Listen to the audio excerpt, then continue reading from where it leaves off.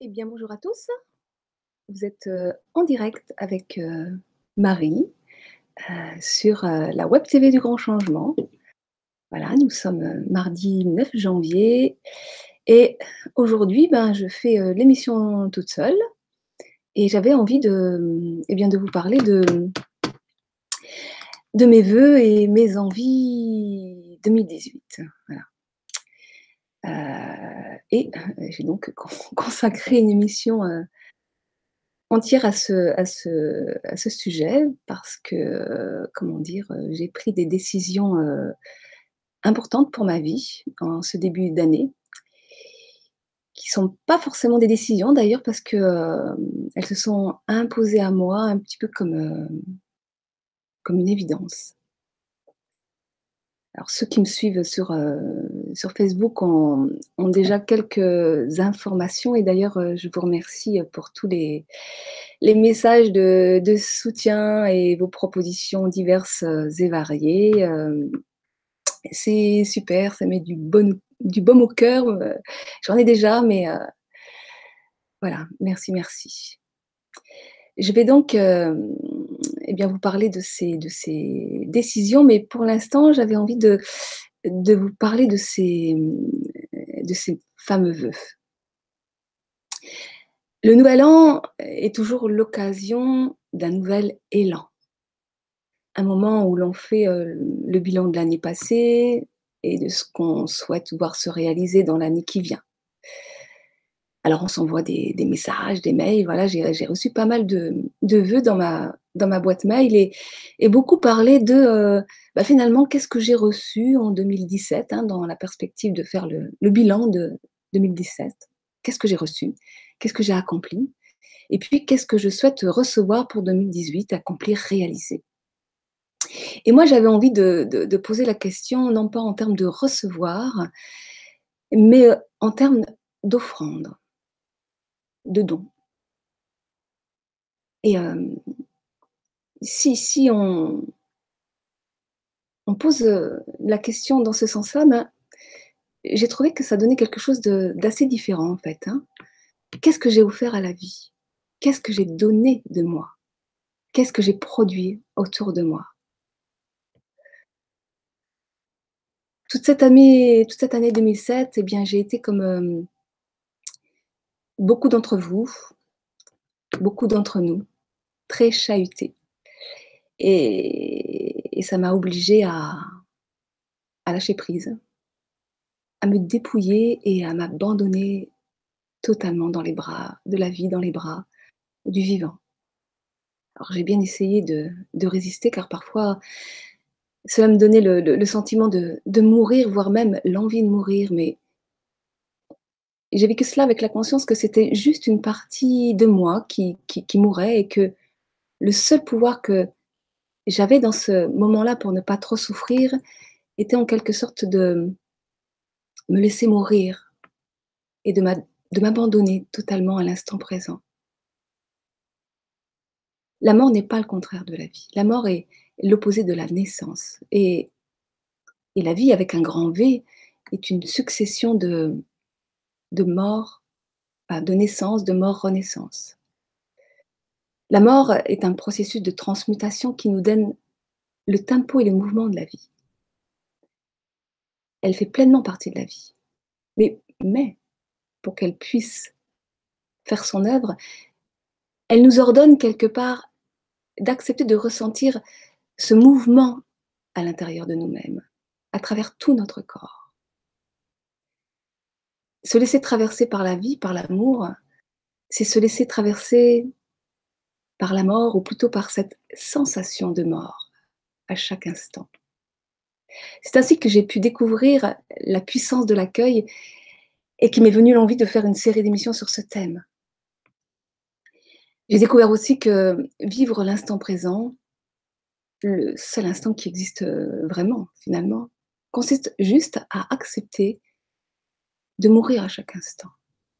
Mourir à ses croyances, mourir à ses certitudes, à ses peurs, à ses émotions, à sa mémoire.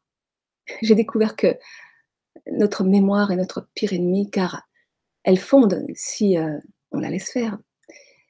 tous nos actes sur le passé, sur l'ancien, le connu, et nous enferme de façon compulsive et réactive dans ce passé, et donc quelque part dans une version obsolète de nous-mêmes. Vivre l'instant présent, finalement, me permet de vivre chaque instant comme un moment vierge de toute connaissance. C'est l'inconnu le plus total, où tout est à inventer, avec la réalité qui se présente. Et c'est donc accepter de vivre dans une sorte de, chaos permanent. Alors c'est sûr, notre mental, notre ego, qui a besoin de sécurité permanente, n'aime pas tout cela. Lui, il veut des repères, il veut un minimum de contrôle, donc il s'agit non pas de, le condamner, mais de le rassurer. Mais surtout d'arrêter de lui donner tout le pouvoir. Et lorsque j'ai enfin accepté de perdre pleinement la tête, eh bien, cela a juste été magnifique et totalement vibrant et plaisant, car cela m'a amené à, à rencontrer et à épanouir des aspects de moi-même totalement inattendus et à développer des, dons, des talents, des qualités d'être qui m'ont permis au fur et à mesure de construire à l'intérieur de moi un sentiment de sécurité intérieure totalement inébranlable. Et qui m'amène à découvrir finalement la, la véritable dimension de ce qu'on appelle la foi et la véritable dimension de ce qu'on appelle le bonheur. Et je m'aperçois que le bonheur n'est pas forcément confortable. Alors j'ai envie de vous dire, Bénissez les moments où vous vous sentez fragile, car c'est la signe que la vie est à l'œuvre en vous-même, qu'elle vous propose de vous agrandir vers, votre véritable puissance.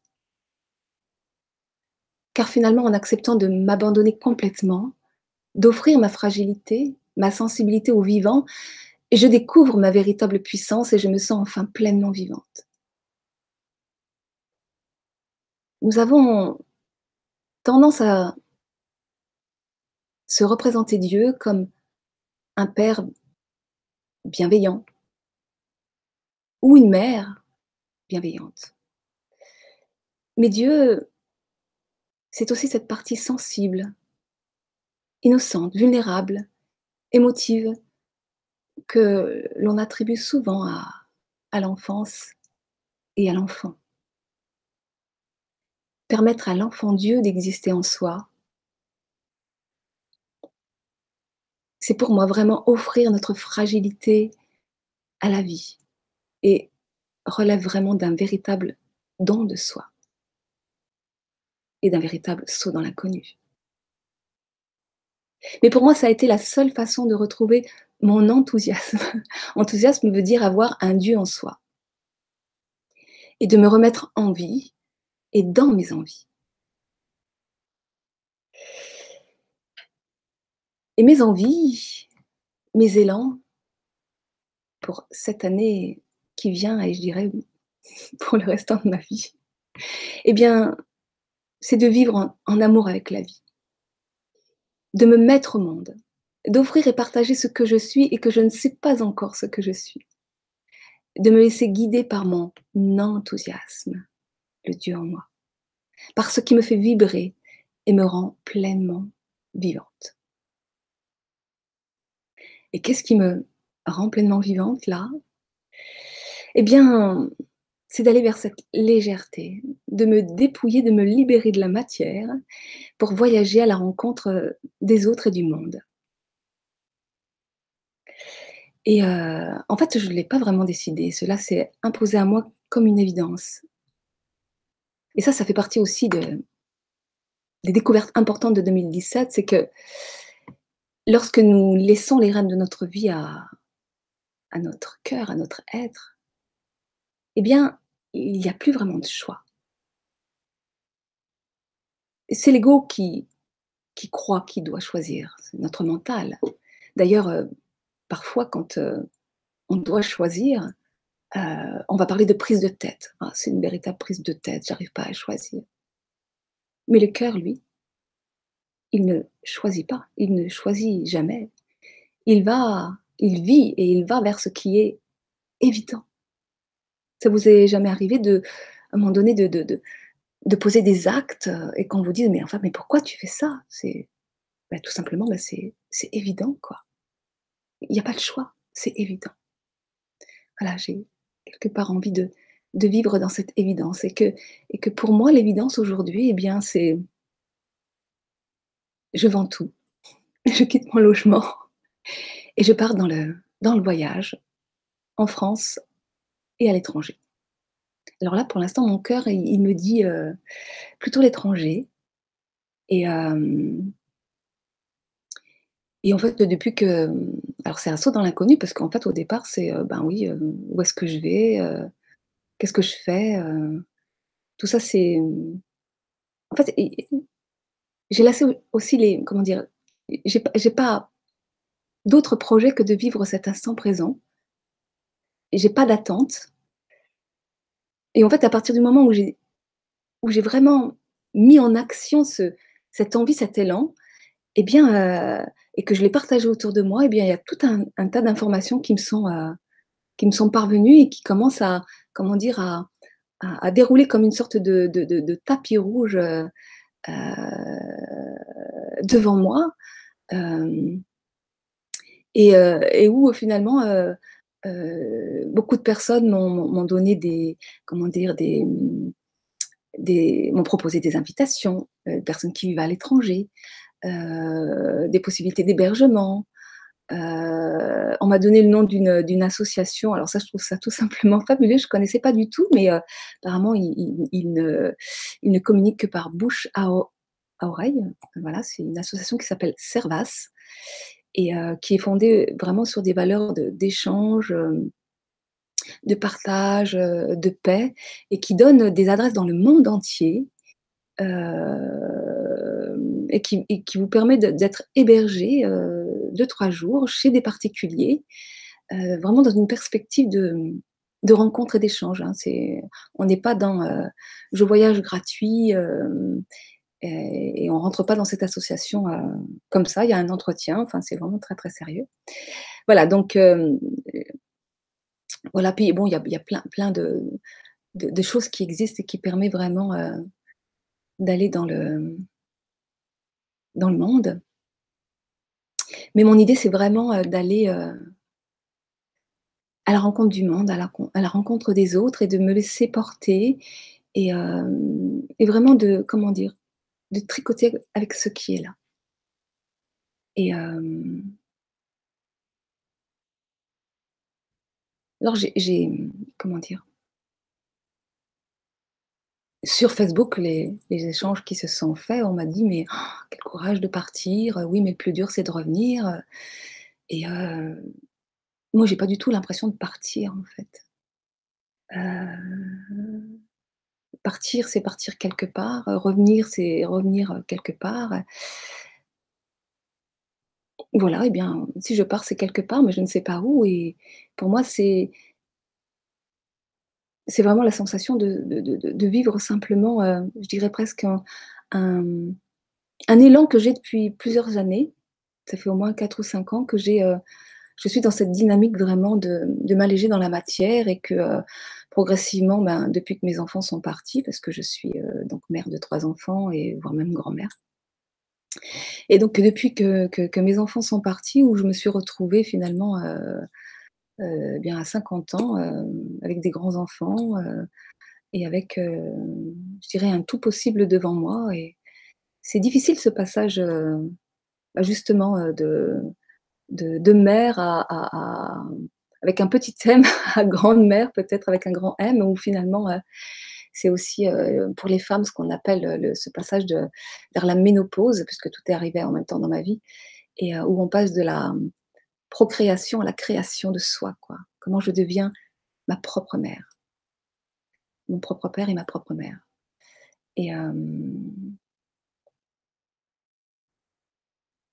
donc voilà, donc ce cet élan qui qui qui qui qui m'amène à vraiment vouloir aller dans la dans la rencontre avec l'autre, heu, vers l'inconnu et heu et l'inconnu, c'est toujours l'inconnu en soi, bien sûr, hein, parce que c'est, heu je dirais quelque quelque part, je parle du soi avec un grand S, hein,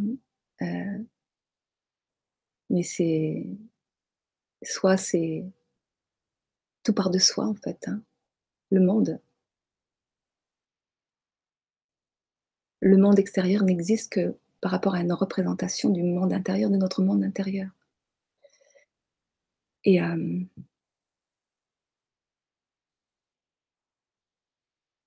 donc vraiment, heu partir dans cette, heu dans cette, dans ce voyage intérieur-extérieur et hem et pouvoir partager, parce qu'il est hors de question pour moi d'arrêter mes émissions, bien au contraire, bien au contraire. Heu, donc en l'occurrence, j'avais acheté un super, heu, un super iMac, heu, un ordinateur Mac, hem, grand écran, mais c'était pas un portable, donc voilà, il il est vendu, et j'ai investi dans un dans un portable qui va me permettre, de faire me mes émissions, partout là où je serai, en France ou à l'étranger. J'ai, j'ai, heu, comment dire? Hem, créé ma propre, hem, heu, web TV, donc le lien se trouve, bah, sous la vidéo, donc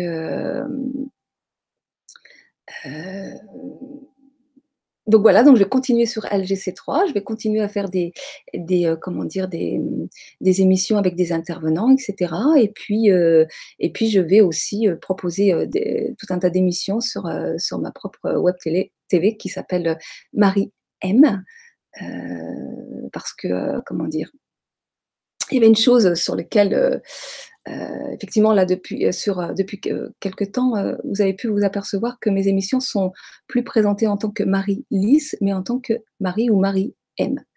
Donc beaucoup, beaucoup de confusion par rapport à mon prénom, les gens m'appellent Marie Lys avec un trait d'union, avec des i, avec des e, voilà. Marie Lys n'est pas mon prénom, mon prénom c'est Marie, Mary, M-A-R-Y.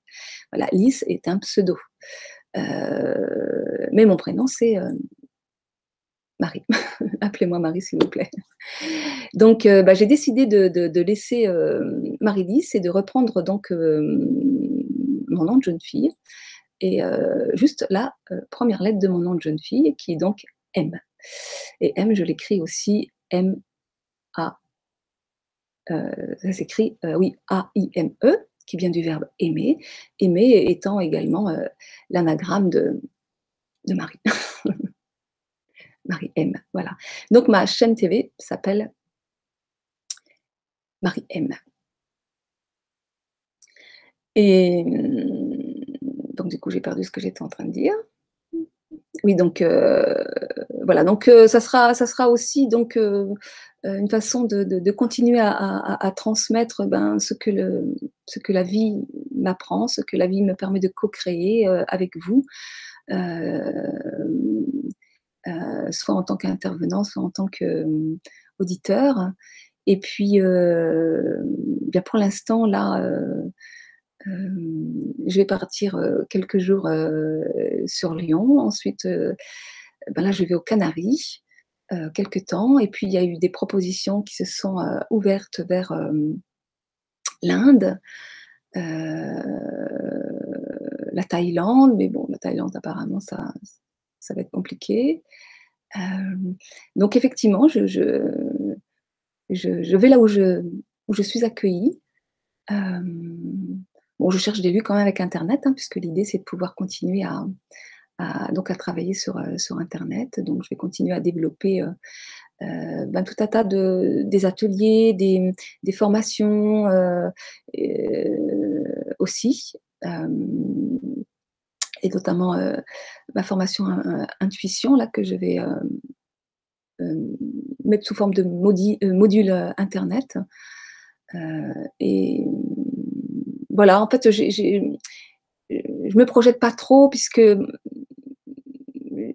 j'essaye vraiment de de de de vivre ce qui ce qui vient et hem, d'ailleurs, c'était rigolo parce que, hem, au mois de décembre, heu, enfin en novembre-décembre, alors qu'il fallait que je pose, des choses, sur mon calendrier du mois de janvier et je me disais il y avait quelque chose à l'intérieur de moi qui me disait: «Mais remplis pas ton agenda, remplis pas ton agenda», comme si je sentais qu'il y avait quelque chose d'imprévu qui allait arriver et oui, pourquoi cela pourrait être imprévu, c'était imprévu parce que vraiment ce cette décision qui s'est imposée à moi, elle est vraiment arrivée le alors ça s'est fait progressivement au mois de décembre, mais ça a vraiment été le le le le 31 décembre, quoi.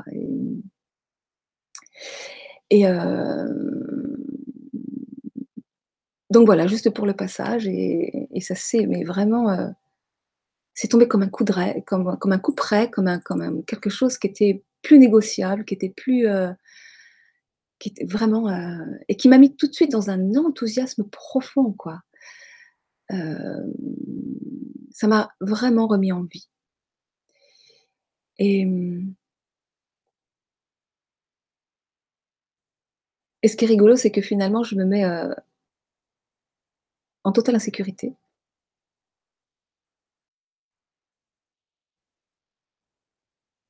Mais cela me fait sentir tellement vivante que, il y a il y a pas photo quoi, j'ai pas le choix. Et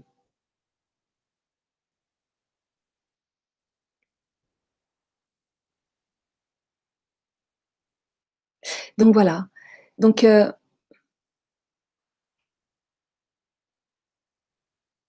voilà, partir, revenir, heu je ne pars pas, je ne reviens pas. Je suis simplement, heu qui je suis et tout reste à découvrir. Parce que finalement, on ne le sait jamais vraiment. Parce que le soi avec un grand S est limité et hem et qu'il englobe, hem les autres, le monde et l'univers tout entier. Donc hem, voilà, je vais aller voir.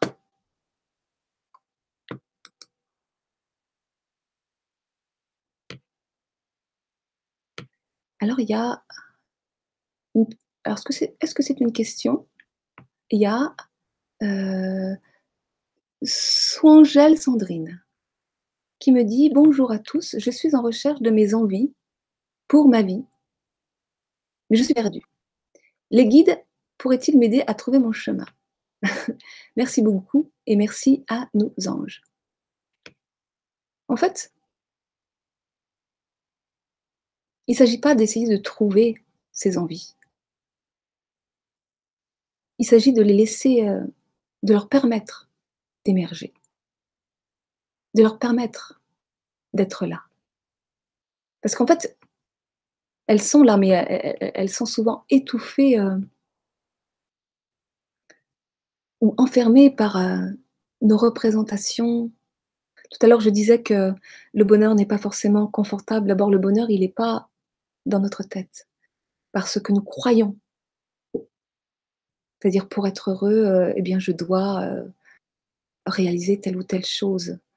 Le cœur a ses raisons que la raison ignore et que justement quand on commence à tricoter avec cet inconnu en soi, eh bien on s'ap on on on s'aperçoit que la vie nous nous emmène souvent, enfin toujours d'ailleurs vers l'inconnu, mais rarement vers ce que notre tête avait décidé. Donc heu, il s'agit vraiment de lâcher, heu, ses objectifs, de lâcher, heu, ses attentes, ses quêtes de résultats, pour simplement accueillir ce qui est là.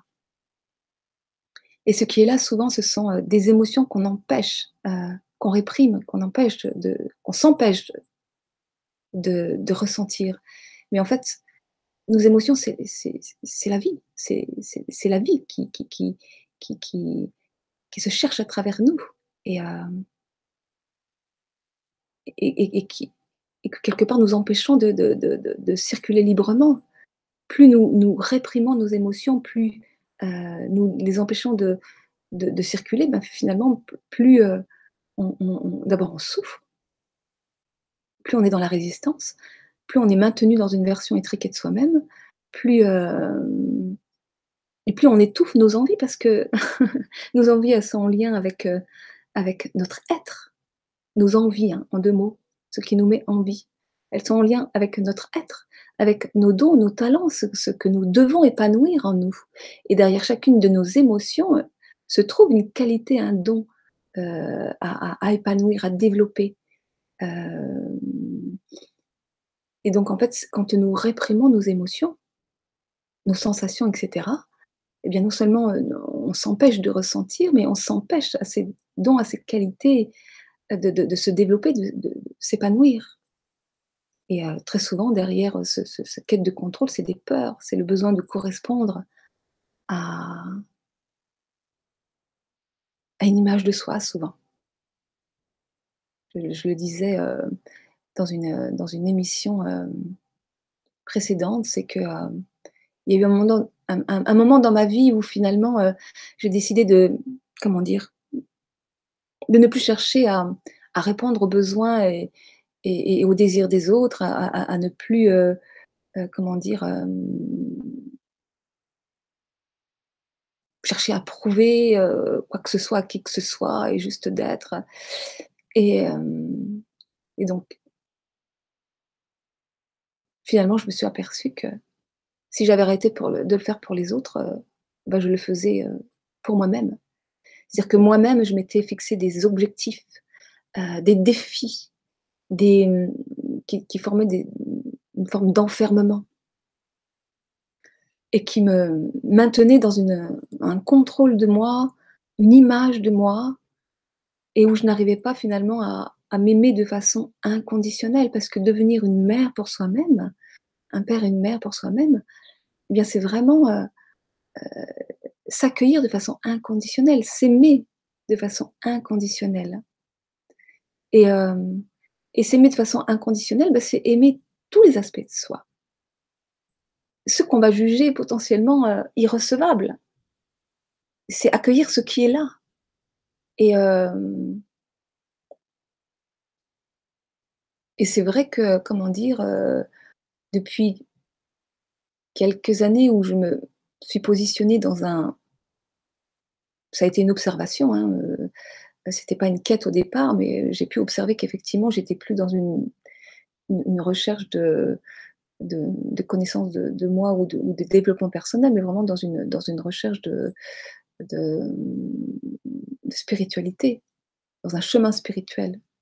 La spiritualité, c'est vraiment quelque chose que j'ai découvert de de l'intérieur, parce que moi, au départ, j'étais complètement, heu, fâchée avec tout ce qui était, hem heu, les religions, parce que d'abord, j'arrivais pas bien à faire la différence entre la religion et la et la spiritualité. Et c'est au fil de, je dirais, ma ma guérison intérieure, qu'il y a vraiment des choses, hem, totalement étranges, parce que pour moi, c'était étrange et étranger à l'intérieur, qui ont émergé, où j'ai pu faire des expériences, que j'ai appelées mystérieuses au départ, parce que je je n'avais pas de mots, heu, pour, heu, pour, heu, pour expliquer ça, pour, au fur et à mesure, j'ai rencontré des des personnes et des lectures qui m'ont permis de mettre des mots sur ce que je vivais.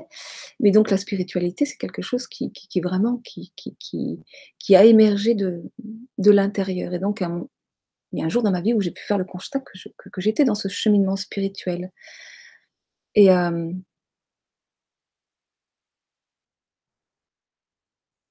et que finalement, je me suis aperçue que, heu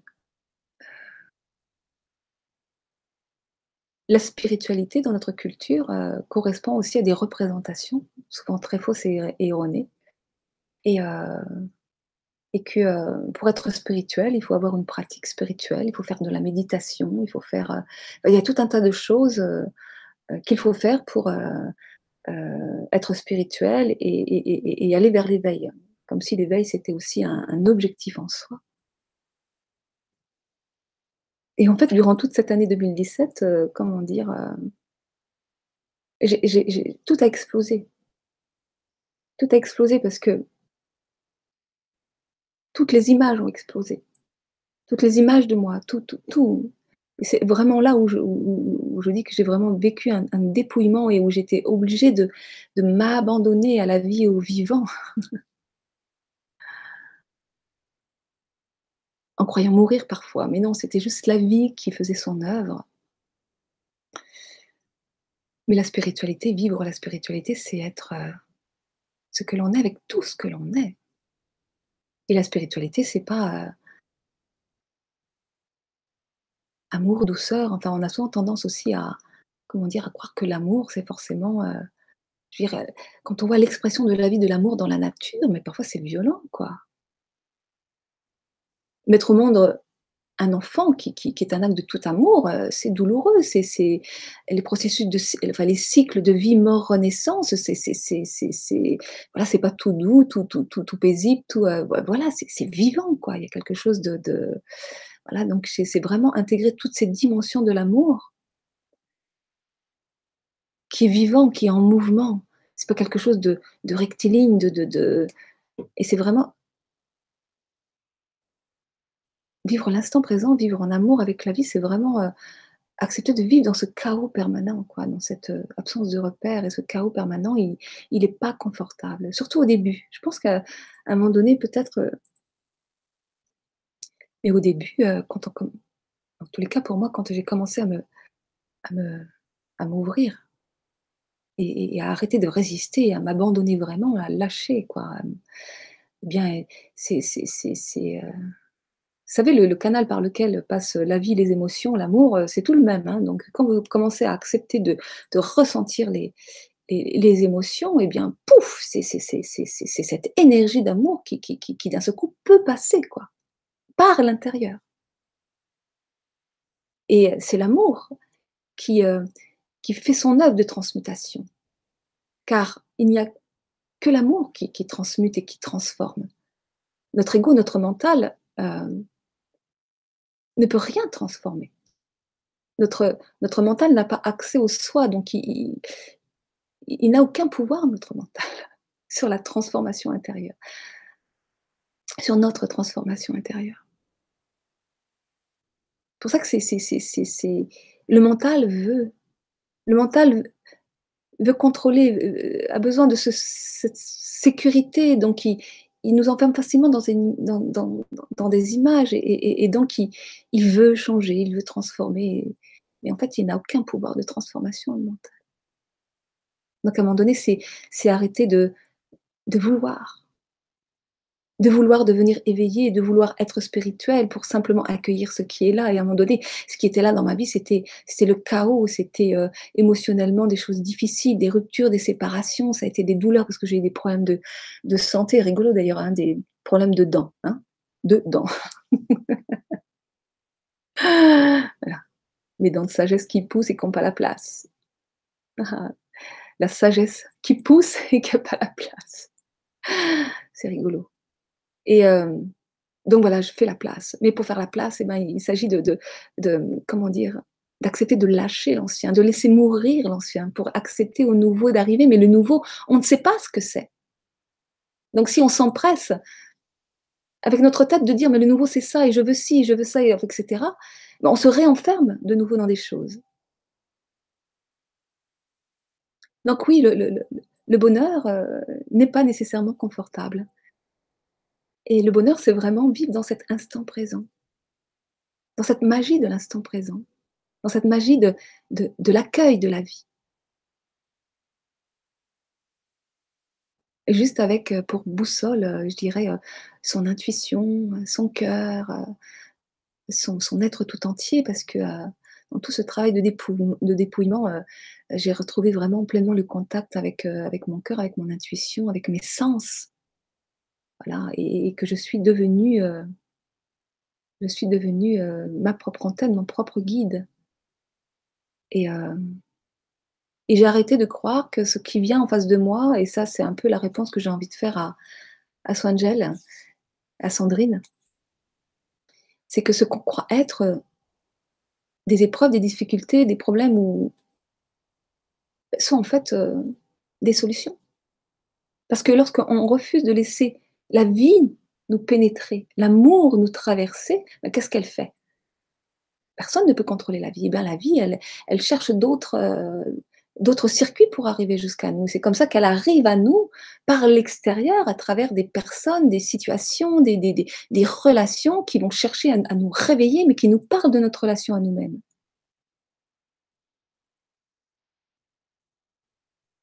Et la vie, l'amour, elle vient nous dire: «Alors tu te réveilles, tu me laisses passer?» Et pour me laisser passer et pour laisser passer l'amour, eh il s'agit d'ouvrir. et lorsque l'amour commence à passer à l'intérieur, il agit comme un karcher qui transmute tout ce qui ne lui ressemble pas. Alors au début, c'est extrêmement euh, douloureux. On a l'impression de recroiser des situations anciennes, de, de, de, se dire c'est pas possible, après tout le chemin que j'ai fait, comment j'en suis là, etc., etc. Mais c'est simplement l'amour qui fait son œuvre. C'est vraiment accepter de se laisser mourir, de laisser toutes ces parties de soi mourir.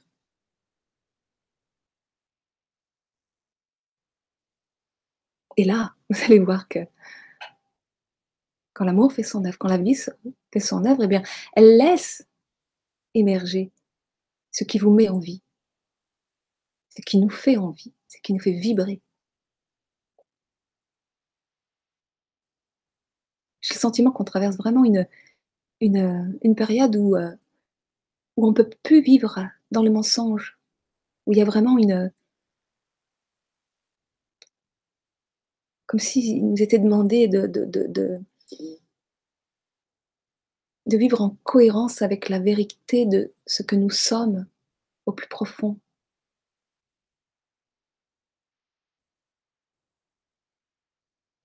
Et je fais l'expérience, vraiment dans mon quotidien, que nous sommes puissants au-delà de, de toute limite. Hein. C'est, je repense au discours de Nelson Mandela et que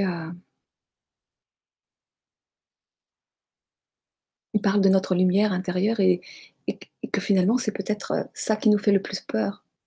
Dans ma vie, pour moi, euh, très longtemps, j'ai eu euh, finalement cette peur d'être illuminée parce que j'avais quelque chose en lien avec la folie, parce que j'avais été un petit peu étiquetée dans mon, je dirais dans dans ma famille, dans mon cercle familial, comme étant un peu la, la folle. Et euh, être illuminé, c'est aussi être euh, fou, c'est ce qu'on dit euh, des fous. Et j'avais tellement peur d'être enfermée dans cette image.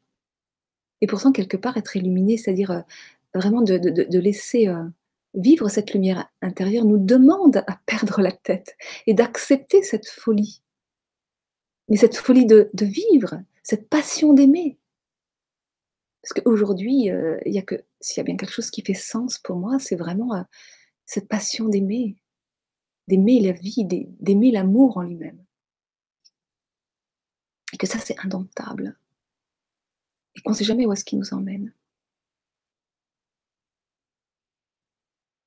Voilà, c'est vraiment accepter de hop, se couper la tête mais tout en étant dans la tendresse, parce qu'il ne s'agit pas de, de, condamner, hein, comme je disais tout à l'heure, euh, cette partie mentale et égotique, c'est-à-dire qu'à un moment donné, euh, bah, cette partie, il s'agit aussi de, de l'accepter. Je veux dire, s'il y a des peurs, s'il y a des besoins de sécurité, c'est normal, c'est logique, puisque notre corps de matière est, est, est périssable, qu'il a besoin de sécurité.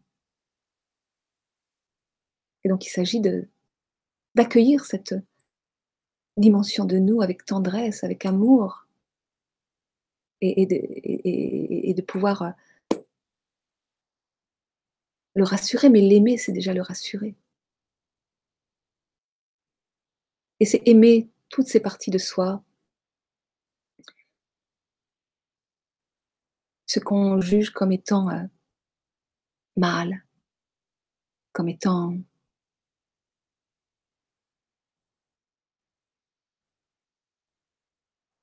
Ça, nous invite vraiment à sortir de la dualité finalement, parce que je m'aperçois aujourd'hui dans ma vie que rien n'est mal, rien rien n'est bien. Et tout à l'heure, je vous parlais du choix, mais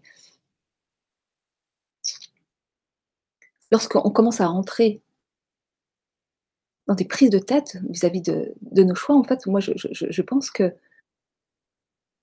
qu'il n'y a pas de mauvais choix. Puisque, en fait, à partir du moment où on est dans le choix, on est dans le mental. Donc, si on doit choisir, quelque part, moi aujourd'hui, j'ai presque envie de lancer les dés. Puisque tout ce qui vient à moi est amour, et expression de l'amour qui se cherche à travers moi. Donc, il n'y a pas de mauvais choix. Lorsque c'est mon cœur qui prend les rênes de ma vie, ce sont des évidences. Donc, à la limite, lorsque je suis pas dans l'évidence, je suis dans ma tête et quand je suis dans ma tête, eh bien, le choix se joue au dé. Il y a jamais de mauvais choix. Alors, soit je ne choisis pas et j'attends que l'évidence se manifeste, c'est-à-dire que c'est la vie qui choisit à ma place. Et la vie, elle est toujours avec un grand V.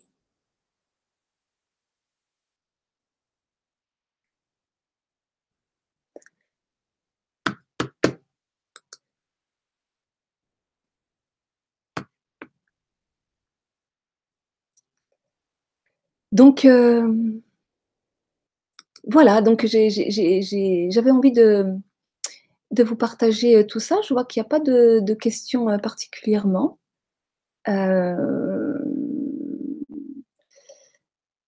Donc voilà, donc bah, de toute façon, je reste, je continue mes émissions comme je vous le disais tout à l'heure. Et hem je comment dire? Eh bien, si vous avez des propositions d'accueil en France ou à l'étranger, heu, c'est toujours, heu voilà, si si si enfin, n'hésitez pas à m'écrire, à me je vends aussi des choses, hein, si si s'il y a des personnes, j'ai j'ai 2-3 meubles encore à à vendre, heu, j'ai des petites choses, heu, si vous avez envie de savoir, heu, parce que comme je dans ma di dimension d'artiste créatrice, j'ai, j'ai des petits, une commode et une armoire, que j'ai, complètement, redécorées, qui ont une valeur affective, importante et que je brade. S'il y en a qui sont intéressés à voir, je peux toujours envoyer les liens. Donc voilà et puis, heu, donc heu, bah, moi je suis sur, heu, donc sur Lyon bientôt et sur Avignon fin du mois de janvier puisque, dans mon émission avec, hem, Éric Chenaux, donc on peut parler d'un week-end qu'on co-anime, sur Graveson au musée des arômes et des parfums, qui s'appelle «J'accueille ce que je suis». Donc vous pouvez aller sur, heu, sur mon site, hem, heu, lecoeurconscient.fr, dans, heu, actualités, vous aurez toutes les toutes les infos. Donc 2 jours, mais qui peuvent aussi se se vivre à la journée. Voilà. Que vous dire, de plus,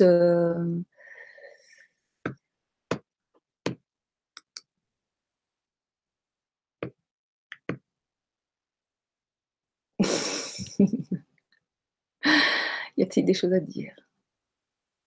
Ouais. Si j'ai un message à vous faire passer pour,